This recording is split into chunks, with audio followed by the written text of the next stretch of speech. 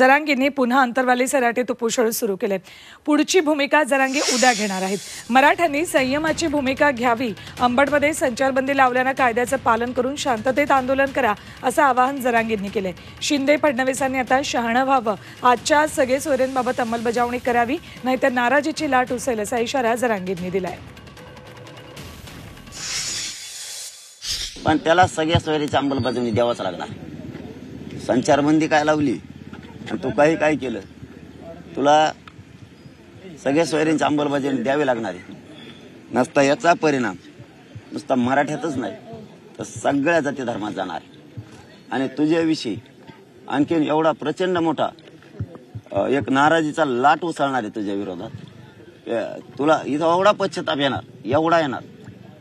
तू एकतर आजची आज आता पहिलेच कॅबिनेट होणार आहे अधिवेशनाच्या अगोदर.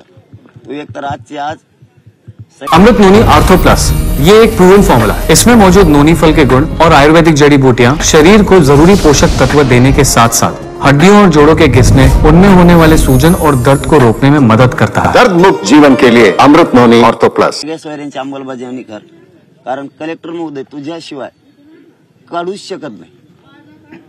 संचारबंदीचा आदेश काढूच शकत नाही. आणि मराठ्यांनी सुद्धा आता ही शहाणपणाची भूमिका घ्यावी लागणार आहे आपल्याला सुद्धा.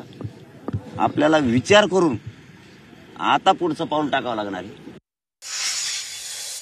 पुनरावृत्ती पहिल्यासारखी करणार नाहीत. महाराष्ट्राने हे समजून घ्या. एकदा अंतरवाली झालेले पुन्हा ते शक्य नाही. आणि ते जर त्यांनी केलं तर त्याला विलाज त्यामुळे ते करणार नाही ते आले फक्त इथपर्यंत आलेत.